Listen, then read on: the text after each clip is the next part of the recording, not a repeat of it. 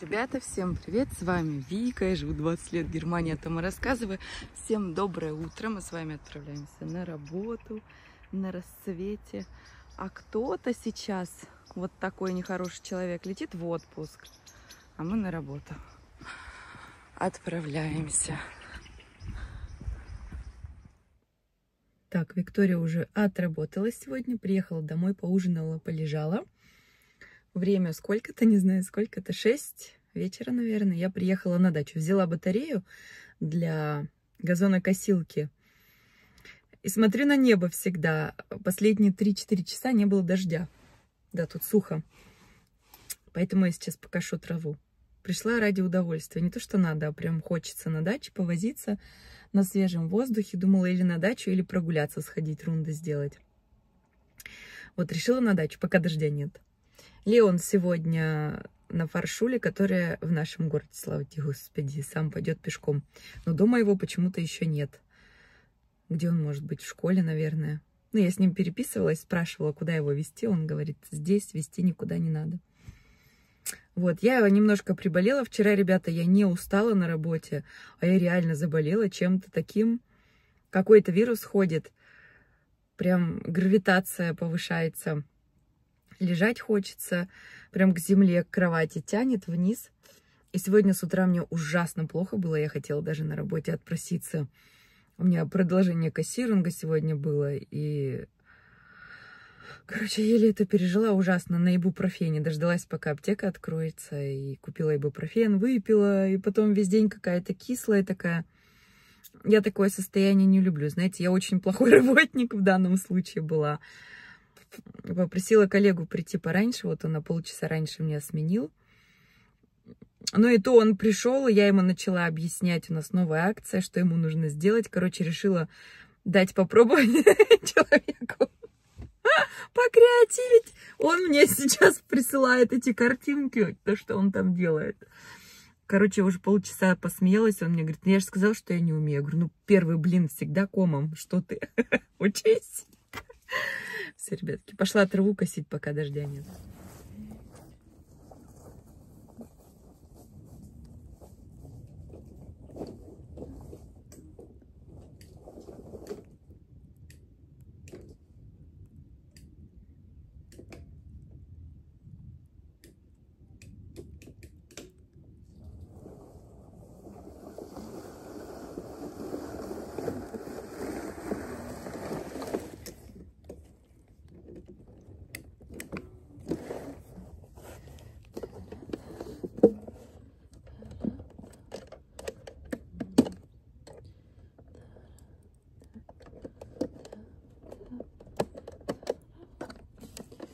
Тут она перестала работать.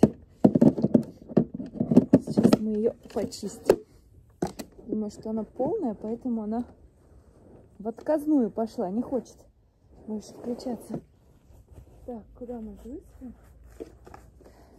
Если сейчас она не заработает, будет очень весело.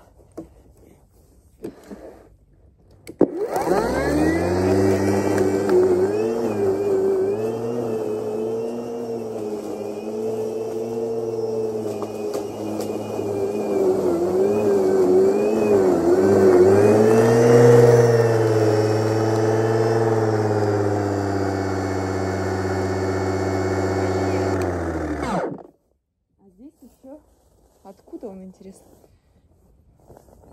Ого, представляете, он зарос прям. Шланг. Мой шок в шоке. Что-то невероятное, ребята.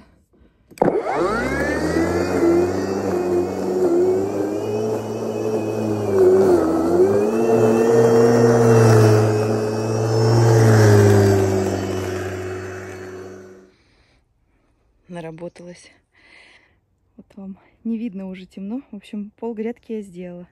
Это молодец, я молодец. И здесь все пропилила. Пропилила, прокосила вот. Ну, работы еще много, ну, хатшпаски махт. Мне понравилось. Я так душой отдохнула. Дачница. Я думаю, что соседи проходят мимо, на меня так косо смотрят. Я за куст зацепилась головой и хожу такая вся. Японская женщина. Капец какой-то, ребят. Я просто планирую сейчас еще ногти запачкала и руки не помыла. Халеша. В общем, мне нужно еще заехать в магазин за водой. А у меня прям кусты какие-то в волосах. Ладно. Я такая из сада или я такая после сбора грибов, да? Разные же вещи, ситуации бывают. Кстати, ну, в Германии в магазине кого угодно можно встретить. И работников с бауштели после работы. И то есть магазин это не такое место, куда ты прям должен нарядиться и прям такой весь чистенький, аккуратненький идти. Я вот грибы собирала и иду теперь в магазин за водой. Ребята, признавайтесь, у вас тоже у всех так? Когда вы просто идете в магазин, очень низкая вероятность того, что вы кого-то из знакомых встретите. Но когда вы идете с грязью под ногтями, с листьями в волосах, с прилипшей грязью к шуям, вы полгорода встретите. Короче, сейчас столько знакомых встретила. Все на меня так. Тебе все в порядке? Лучше не бывает.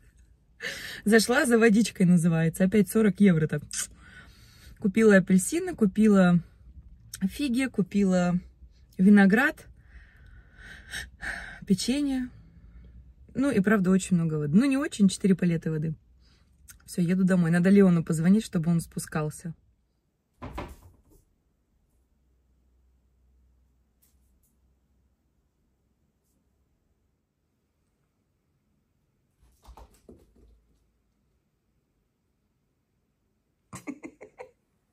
Дурень. И что вы думаете? Время 9 вечера. Это умирающая лебедь. Опять оделась едет снова на работу. Сотрудник попросил его подменить на полчасика. Еду. Взаимовыручка называется. Хотя вообще ни сил, ни желания хочется уже в кровать. Ну что поделаешь. Вечера я приехала с работы. Вы меня спрашивали, какой фирмы Казы. Но это сало Казы. А еще у меня есть колбаса. Колбаса не знаю. А это именно сало копченое казы. Вот так вот оно выглядит. Здесь прослоечка жира такая. М -м -м. Очень вкусно. Я уже днем пробовала. И сейчас с бородинским хлебушком. Жалко, что у меня лучка нету. Вот такой бутербродик сейчас с вами сделаем. Полный рот слюней. Я вообще люблю сало. Редко, но ем. Дедушка у меня всегда так тонко-тонко его нарежет. Говорит, маленько можно. Вот такой бутербродик на ночь меня сейчас ждет. Все, отключаюсь прям. Ой, не могу. Ребята, пыталась, может быть, Леона сейчас подсунуть. Теперь, короче, у меня все гости, которые приходят, спрашивают, а это что за колбаса? Видео посмотрели? А покажи упаковку. Короче, все боятся поесть мясо лошади. Это же, говорит, как собаку съесть. Я говорю, ну, собаку не пробовала, лошадь вкусная. Ребят, конечно, я бы никогда в жизни не смогла. У меня бы лошадь от старости умерла. У меня бы даже курица от старости умерла. Что вы? А кролик тем более, а лошадь уж тем более. Ну, просто уже все же приготовленное. Не помирать же ему. Ну, что, захотели сальца, да, на ночь? М -м -м, вкусняшка. Просто кадр красивый, как будто... Леон! Ты можешь вот хоть один день меня не напугать, чтобы я вот... О, дурень! Из-под холодильника... Ой, за ногу меня схватил. Я хотела кадр красиво показать и сказать, что мы пол ведра огурцов съели за вчера и сегодня. Как дела? Хорошо? Кухню кто будет убирать? А ты? У тебя гимназия. Уроки надо, наверное, делать, да? Некогда тебе. Место встречи у холодильника, да? Ты подождешь, пока я спать лягу, потом пойдешь, да? Кстати, забыла вам рассказать. А, многие люди, которые заходят на канал так случайно, замечают, что я очень много смеюсь. Это так и есть. Ну, вот такой человек позитивный. Ой, когда small talk идет, я смеюсь. Или могу сама над собой смеяться, могу над другими смеяться, могу вместе с другими смеяться. Но сейчас не об этом. Сейчас мне так подкололи, ребята.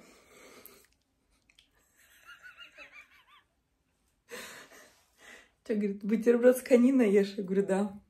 А поэтому ты так постоянно ржешь. Как лошадь. Теперь вы знаете мой секрет. Я ржу как лошадь, потому что я ем конину.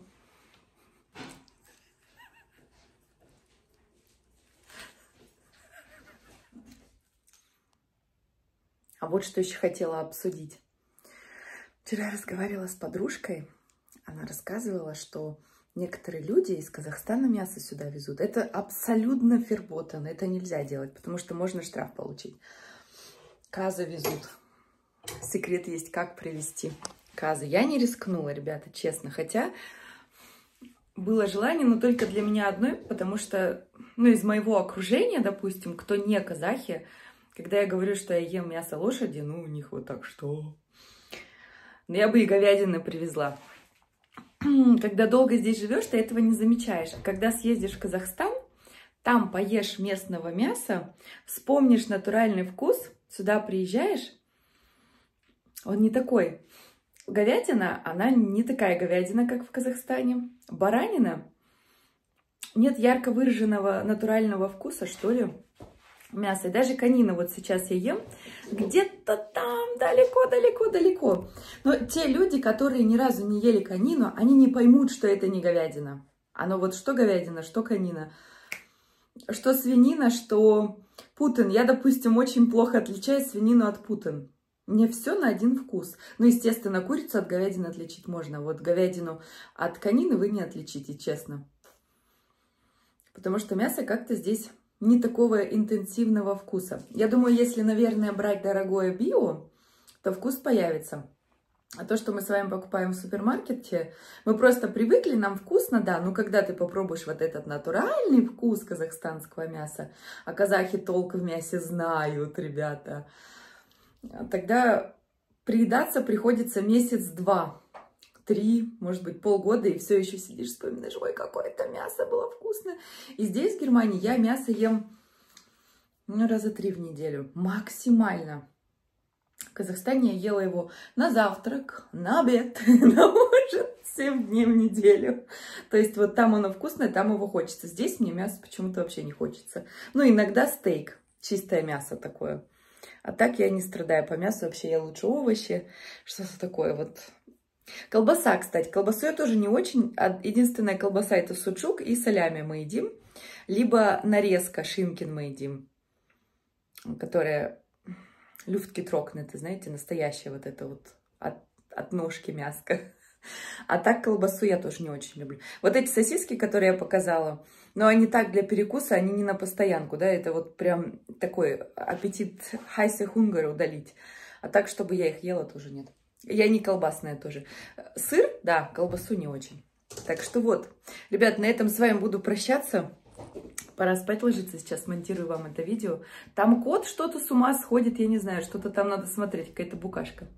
Все, всех люблю, всех целую, спасибо, что были с нами сегодня. Такой влог, ну, ребята, будни, да, понимаете, особо ничего не происходит.